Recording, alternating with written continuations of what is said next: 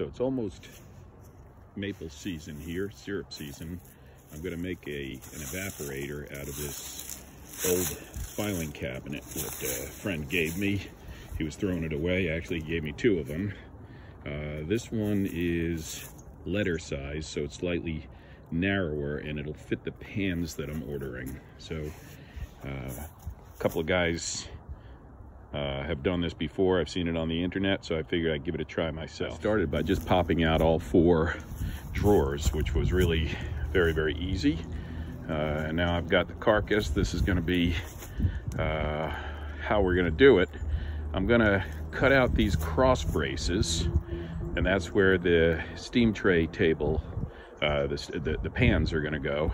And then this end here, it's already an opening, so that's where I'm gonna put the doors to uh, open to, to make the fire. And then around the other end here is where I'm gonna put the chimney. So to cut the metal, I'm gonna try just using my uh, circular saw with one of these combination wood and metal blades that I got. They have them just for metal, but um, uh, they didn't have them in stock, so I got this combination wood and metal one. Most of what I'm gonna be cutting through is pretty thin, but it does say that it's okay for cutting angle iron, uh, flat bar, uh, threaded rod, so it should be okay for what I'm doing. door for the uh, opening for the wood stove here, um, the firebox.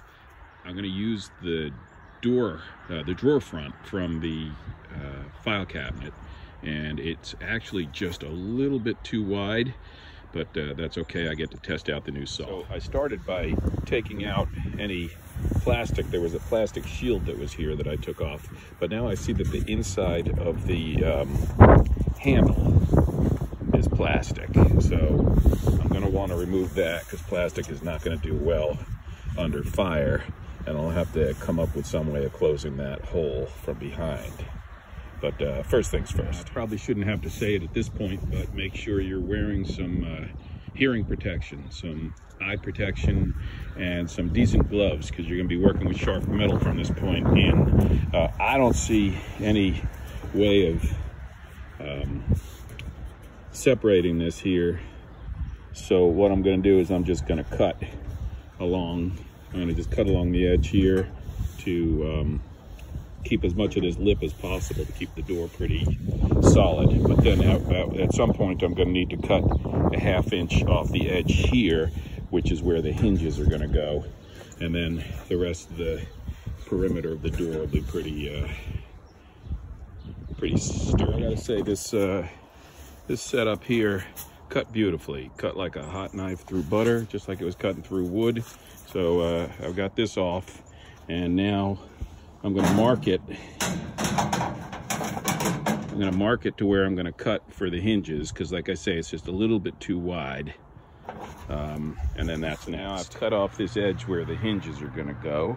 And I've got some uh, T-hinges and some self-tapping screws. I got number 10 by 3 quarter. Um, yeah, I, I, thought they were nice and snug. They had good size heads for these holes, and three quarter I thought was uh, going to be all purpose. You know, I, I could have gone with a little bit of shorter for some functions, but then there's other places where I think I might need uh, at least three quarters. So 100 a box, I just figured I'd get this. Now that I have the door in with a couple of hinges, it works just fine. Uh, I'm starting to wonder what I should put down bottom, whether I should put a fixed panel or whether I should put another door. Because honestly this door might be a little too high for reaching the um, you know for loading wood into it. So let me think about this. So it's starting to get dark but here's what I decided to do. I decided to use um, a door for down here. This is going to I'll put some kind of flap on here that I can use it for uh, for air circulation. And then you can see I put the, um, what do you call it? The, the, the brackets from the drawers in here. And they're gonna hold the grate. So the fire is gonna be at this height. So there's no need to have this open except maybe for cleaning it out at some point in the future, but uh, clean out ash. But uh, um, for now, for this year, I just put this in here and uh, and this, it stops up against it. So I think we should be okay. A few quick observations uh, for tonight. I was lucky I have some old bed frames laying around. I think, uh, you know, they're not hard to find, but I was lucky uh, I have some laying around. Uh, for this end here, for the for the stovepipe, um, I have a four inch round that I was thinking of mounting right here in the middle somewhere.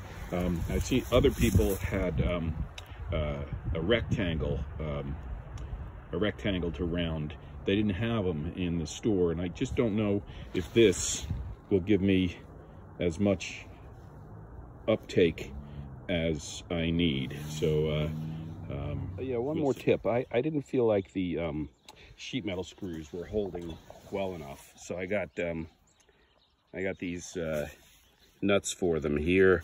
Uh, they seem like they're holding a lot better. I'm not putting them everywhere. I'm just putting them um, uh, where it didn't seem like it was holding well enough. Okay, it says, since I don't have the technology to do two things at once, um, I just used my uh, uh, Sawzall, or my, uh, it's actually a DeWalt version of the Sawzall, or wrecking saw, whatever you want to call it, with the uh, metal blade. And I cut out these cross braces, and then I marked where I'm going to put the uh, chimney.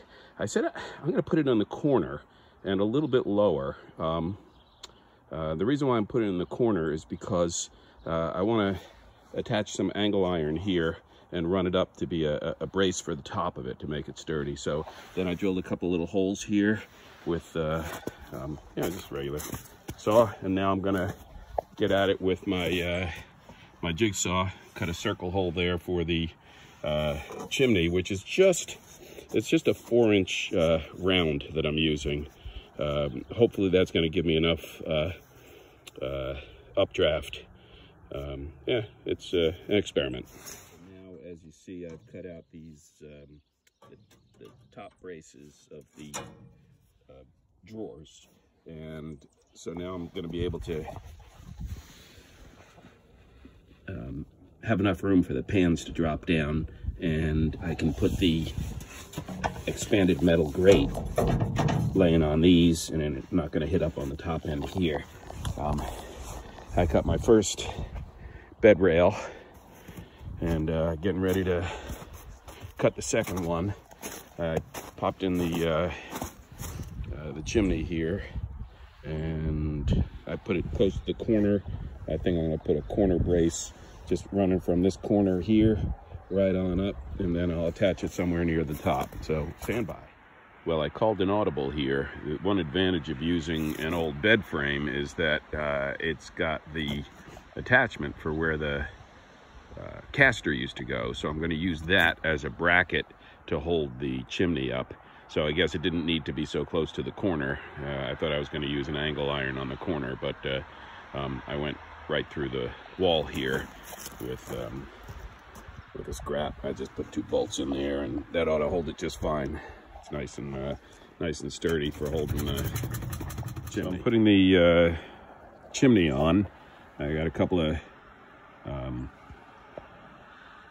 got a couple of self-tapping screws here coming through into the um,